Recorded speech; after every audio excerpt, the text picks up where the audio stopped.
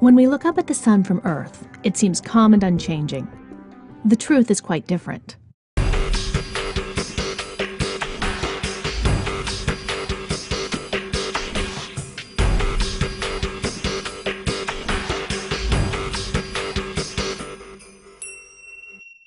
In addition to these abrupt changes in activity, the sun also has a long term, more regular pattern of change.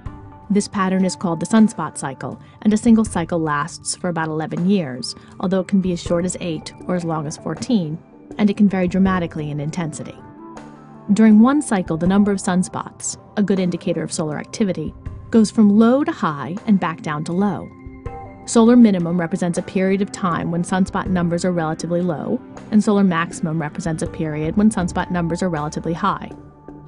During this cycle, the location of the sunspots also changes. They are at middle latitudes during solar maximum and move closer to the equator as the sun approaches solar minimum. At solar minimum, there are sometimes no sunspots to observe. At solar maximum, there can be many at the same time.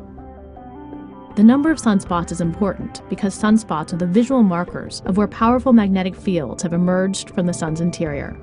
These magnetic fields power solar flares and coronal mass ejections, which can affect Earth and other objects in the solar system. As the sunspots increase, so does the frequency and severity of flares and CMEs. The sun's 11 year cycle is a symptom of a longer 22 year cycle called the solar cycle, or Hale cycle, which affects the sun's magnetic fields. Every 11 years, the sun's poles flip. North becomes south and south becomes north. So every 22 years, the poles return to the position where they started the cycle.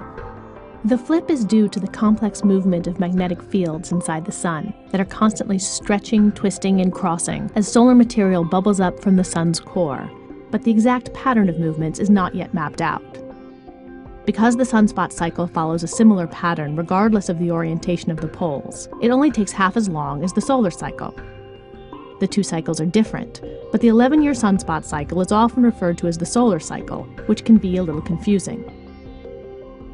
Right now, the sun is approaching solar maximum, so flares and CMEs are more common than they were a few years ago.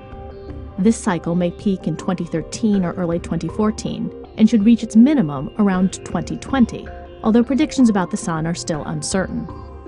The slower than expected progress of this sunspot cycle has led some to speculate that the next sunspot cycle might be very minimal, with few sunspots even at solar maximum.